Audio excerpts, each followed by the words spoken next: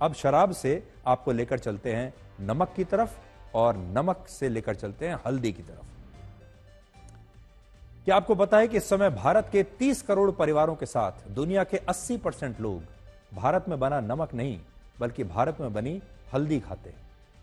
दुनिया इसे golden spice of India यानी भारतीय मसालों का सोना कहती है। सोने जैसा मसाला हल्दी को माना जाता है। हमारे देश में धार्मिक अनुष्ठानों से लेकर शादियों और खाने पीने की चीज़ों में हल्दी का सबसे ज़्यादा इस्तेमाल होता है। हमारी रसोई में सबसे ज़्यादा इस्तेमाल हल्दी का होता है। भारत में प्रति व्यक्ति हल्दी की सालाना खपत तीन ग्राम है और आयुर्वेद में भी हल्दी को सबसे बड़ी औषधि का दर्जा दिया गया। ये सारी बातें हमने आपको इसलिए बताई क्योंकि अब हल्दी में भी मिलावट होने लगी है। नेदरलैंड्स के एक साइंस जर्नल ने अपनी नई स्टडी में यह दावा किया कि भारत की हल्दी में लेड की मात्रा 200 गुना तक ज़्यादा है।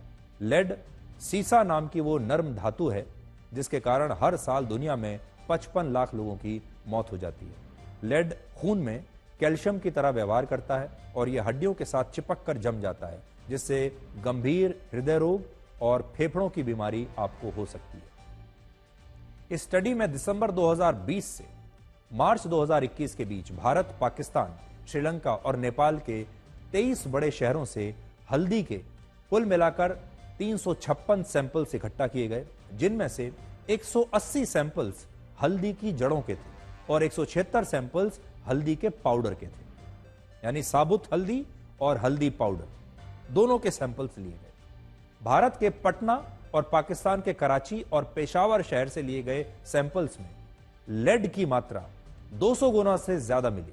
जबकि लखनऊ, चंडीगढ़, भुवनेश्वर, अमृतसर, चेन्नई और गुवाहाटी से लिए गए सैंपल्स में भी लेड की मात्रा तय मानकों से ज़्यादा निकली। एक ग्राम पिसी हुई हल्दी में लेड की मात्रा 10 माइक्रोग्राम या उससे कम होनी चाहिए, लेकिन गुवाहाटी की हल्दी में इसकी मात्रा 127 माइक्रोग्राम थी, जिससे पता चलता है कि आप असल में हल्दी नहीं, बल्कि लेड खा रहे हैं। और यह वही लेड है जो दुनिया में लोगों की अचानक होने वाली मौतों का एक बहुत बड़ा कारण माना जाता है।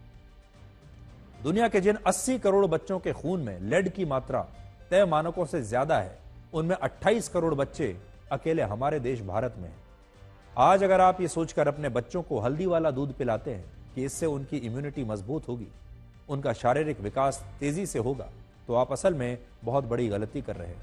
हमारे देश में भी आपने देखा होगा, जब कोई बीमार होता है, किसी को चोट लग जाती है तो आज भी पुराने नुस्खों में यही कहा जाता है कि दूध में हल्दी मिलाकर पी लीजिए।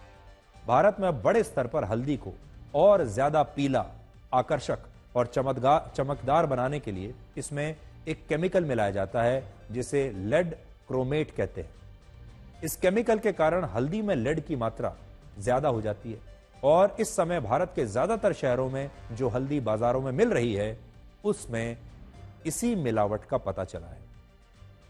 हमारे देश में जब कोविड आया था, तब लोगों ने अपनी इम्यूनिटी को मज़बूत करने के लिए काढ़े के बाद सबसे ज़्यादा जो चीज़ पी, वो था हल्दी वाला दूध।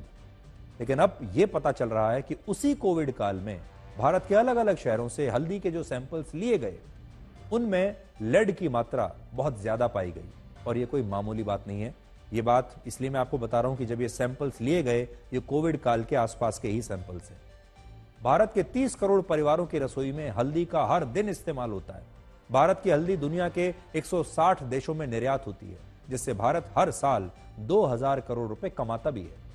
वर्ष 2018 में एक क्विंटल हल्दी की कीमत छह हज़ार चार सौ रुपए थी, जो अब साढ़े ग्यारह हज़ार रुपए हो चुकी है और इसमें 80 प्रतिशत की वृद्धि हुई। इससे पता चलता है कि लोग हल्दी के दाम भी ज़्यादा दे रहे हैं और उनके साथ मिलावट वाला धोखा भी हो रहा है। और शायद यही कलयुग है, जहाँ अब हर चीज़ में मिलावट हो गई है और मिलावट का एक ही कारण है और वो है इंसान का लालच। अब इंसान बेईमानी से शॉर्टकट रास्ता अपनाकर अमीर बनना चाहता है और वो ज़्यादा मुनाफे के लिए किसी भी तरह की मिलावट करने से बचता नहीं, ज़्यादा मुनाफे के लिए वो किसी की भी जान ले सकता है, किसी को भी धीमा जहर दे सकता है। अब आप जल्दी से यह समझ लीजिए कि हल्दी में होने वाली मिलावट को आप अपने घर में कैसे पकड़ सकते हैं।